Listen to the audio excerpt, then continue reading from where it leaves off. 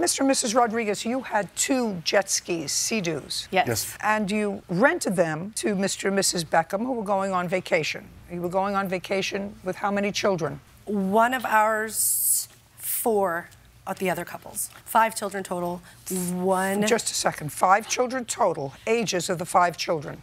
Mine was one and a half. Didn't seven. drive a jet ski. No. Next. Seven. Didn't drive a jet ski. No. Ten. Maybe. Five. No. And I believe Satya is 11, 12, How many adults? 8, Eight adults. Nine. Nine Nine adults. adults. How many jet skis did you have? 2. You went away from when to when? We left the 24th of June and we came home on early morning the 10th of July. So you had the jet skis a little more than two weeks. Yes. And for the jet skis, you paid $1,000 Yes. for both. Yes. You were supposed to have insurance. Did you have insurance? Yes, we did. Jet skis were damaged. They had previous damage. They were damaged. You were away with the jet skis. There's no question in my mind that they were used over the two weeks that you were there by nine adults. I don't think that the little children drove them, but maybe they were passengers. Yes. What damage was caused when they were in your care? On the gray jet ski, um, the bumper, the rubber bumper. There was an around- accident.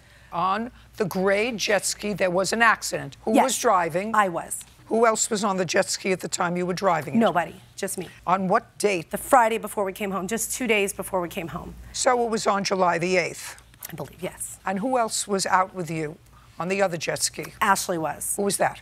Ashley Bocanagre, she is Javier's wife. And that was also on July the 8th. Yes, we had gone out together on one, me on one jet ski and her on the other. Very good. And that was the only time there was an accident? Yes, Okay. So that takes care of your counterclaim. Your counterclaim is for the return of your money because you said you couldn't use them only 12 hours of all the time. And here you had this, them from the 24th of June and you were still on them on July 8th. Yes, we Just- rode them- just- And you were yes, we still on them on July 8th. and Yes, you we want did ride them when they started. Oh, okay. We- Very yes. good. All right. So your counterclaim's dismissed. Okay. Now let's just get to the claim. okay. Do you have pictures of the jet skis when you gave them? Yes, ma'am. Turn them over. May I see them, please? I have pictures of them in the garage, and then when I pulled them out, and as they drove off with them.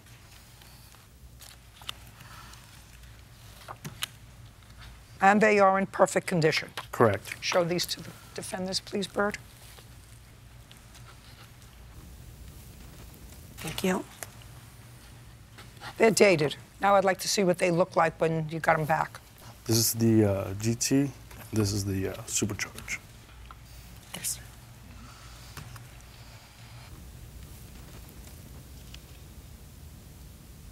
All right, so this is the bumper. What's That's that on the blue one, Okay. not the one she said she had wrecked. Is this also the bumper? Is this? That's the back piece now. That's the back bumper, yes. Those are two different uh, incidents. What is this? That's a chip on top of the seat where your feet go. I have no clue how that happened.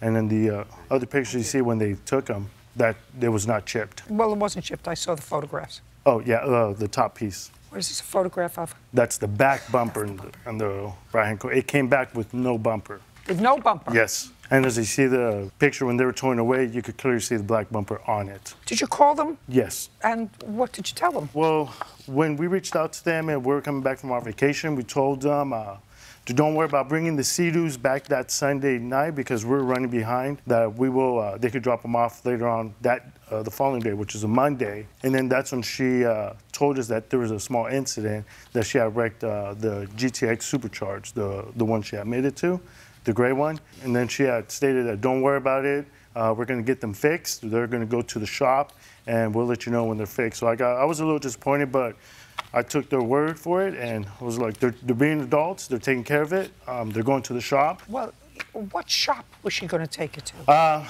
she said that one of the friends, the one who had told it, he was a, he knows a good buddy at a shop, and uh, I was okay. And I did ask, what shop are you going, uh, taking him to?